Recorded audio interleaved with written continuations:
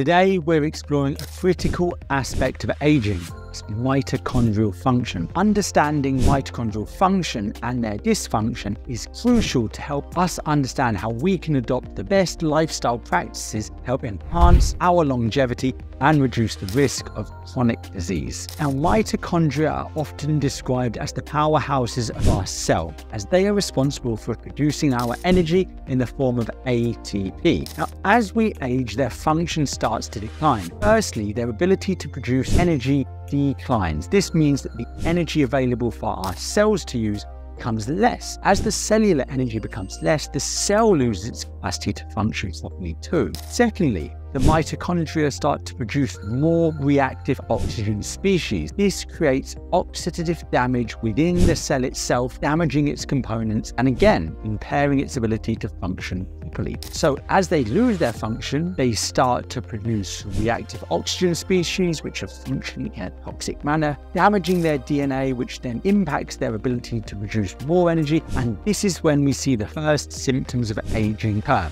which is often quite far down the line when the initial symptoms in terms of mitochondrial function initiated. And this is just one of the ways in which mitochondrial function has the impact on our healthy aging. We'll be covering more in some later reels about the topic too.